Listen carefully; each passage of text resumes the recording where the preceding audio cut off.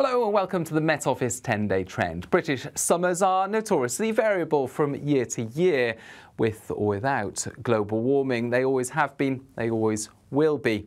And much of that variability depends on where the jet stream sits. And this summer so far, the jet stream has been often defaulting to the south of the UK. That means the UK has been sitting on the cool side of the jet stream and we've often seen low pressure, which normally sits to the north of the jet stream. Indeed, at the time of recording, an area of low pressure has been bringing some very unsettled weather, some unseasonably low temperatures and outbreaks of rain across much of the UK through Monday, Tuesday and into Wednesday. Now, if you were to look at the model output from a few days ago, the signs were relatively optimistic for later this week into the weekend this area of high pressure would build in the jet stream starting to push to the north of the UK. And broadly speaking, that is the theme over the next few days. But there have been some subtle shifts. And the main shift has been that the jet stream is pushing even further north than previously thought, and that amplification in the jet stream allows this area of high pressure not to topple in over the UK, pushing the low over towards the continent and moving the south shifted jet stream out of the way. Well, what's happening is that higher pressure is building further north, in fact, to the north of the UK.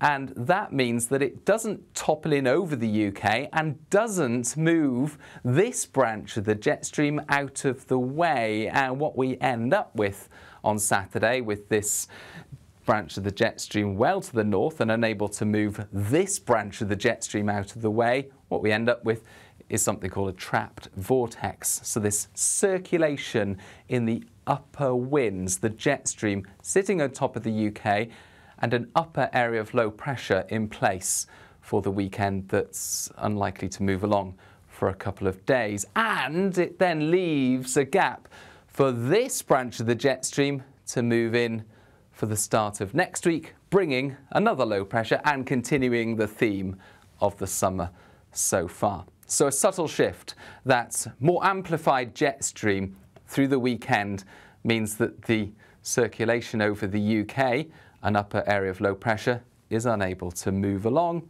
and we keep things unsettled for the time being. But not quite as unsettled, at least for the next few days, as we saw at the start of the week with some very wet weather during the last couple of days, especially for the northeast of Scotland. Now that's tending to fizzle out through Thursday morning, although it stays grey and damp in places. And there's another band of rain that's going to sit across central parts through Thursday as well. Some sharp showers across East Wales into the Midlands, for example. But to the south, some warm sunny spells. And for northwest Scotland, Northern Ireland also some warm sunshine coming through. So drier and brighter for many, but not for all on Thursday. Likewise on Friday, well, we're going to see the cloud and rain across central parts sink south overnight Thursday into the start of Friday. And this area of rain moving to the North Sea, so clearer spells for Scotland and Northern Ireland. A fresher night for many compared with recent nights, but the chance of some heavier rain for a time in the south coast that originates over the continent and just, uh, well, starts to move north for a time. Then into Friday itself, it's likely that this heavy rain will um, be there first thing and it will come and go through the day, increasingly focused towards the far southeast, whilst a zone of more unstable air affects the far southwest. Meanwhile, elsewhere, actually a drier day, albeit relatively cloudy, relatively cool for the time of year. Temperatures in most places mid to high teens, perhaps 20, 21 in the south. The air is coming from the north by this stage. One or two showers for northern Scotland as well. Northern Ireland, but otherwise many places drier and brighter. And you can see on the rain totals map, this is the six hour accumulations through Friday afternoon. Very little rain across the country on Friday for a change, but there is this area of rain over the continent and that could cause things to be quite soggy by the end of Friday in the far southeast. Some uncertainty about the extent to which that affects the southeast. And likewise, I mentioned those heavy showers across parts of the southwest. And there is the risk of some very heavy rain for a time very locally across southwestern parts. And you can see it's focused uh, inland across parts of Cornwall. So someone like Exmoor could see 50 millimetres of rain or more in the space of six hours.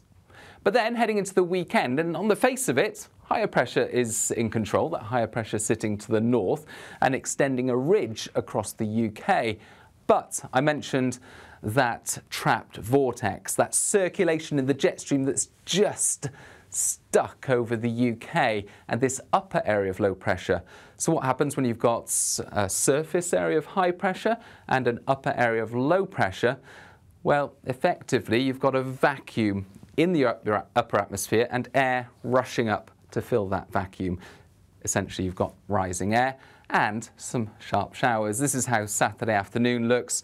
Showers for many places, especially towards the west, but Actually, some places will avoid those showers and stay dry through the day. A lot of cloud cover and still relatively cool for the time of year. This is how the temperatures will compare to average on Saturday. It's especially cool towards the northeast, several degrees below the July average. Fast forward to Sunday and temperatures are a little closer to average for the time of year.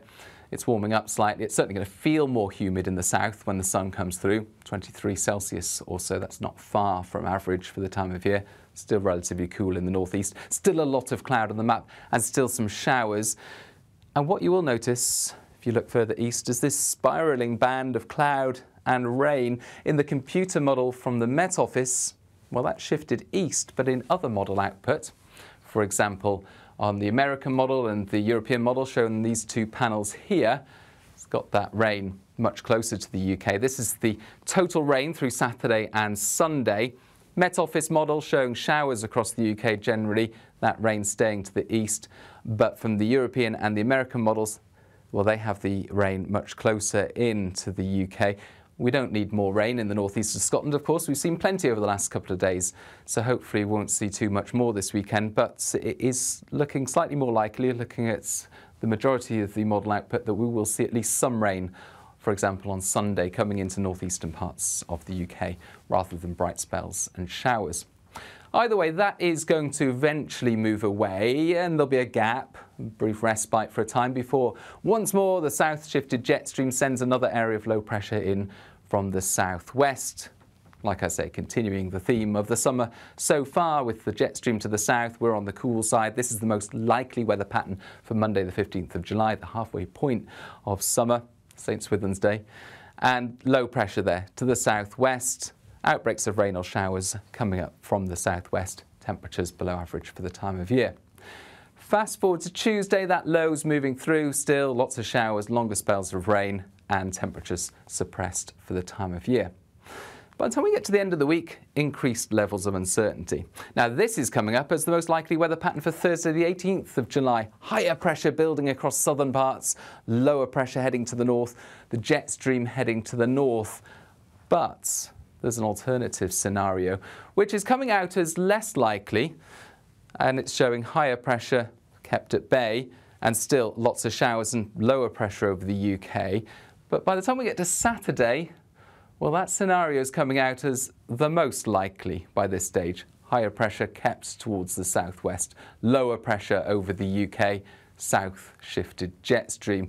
Saturday is still showing this as a lower probability scenario. There's only a fraction of a percent difference in terms of those two scenarios. So which one do we believe? Do we believe the ridge of higher pressure extending in or do we believe briefly higher pressure before lower pressure and south shifted jet stream return? Well, on balance, given the computer model's performance through the summer so far, as meteorologists, we would suggest following the more pessimistic scenarios, lower pressure, more showery conditions. And that's because if you look at the outputs a few days ago for what the most likely pressure anomaly would be for next week, well, they were showing that higher pressure was more likely to extend across the UK.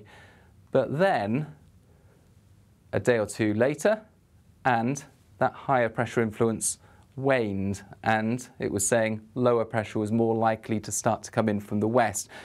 And the most recent model output suggests lower pressure and that higher pressure much more diminished. So it seems, and this has been the theme of the summer so far, when the computer models suggest higher pressure, more settled weather in seven to 10 days' time, you get closer to the event and that signal tends to disappear.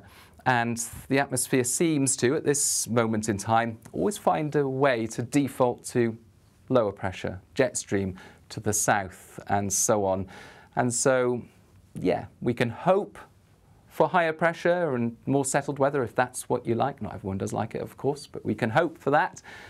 But expect, given the state of the summer so far, the opposite. Uh, of course, we'll keep you updated right here at the Met Office and uh, make sure you subscribe to YouTube so you never miss one of those updates. Bye bye.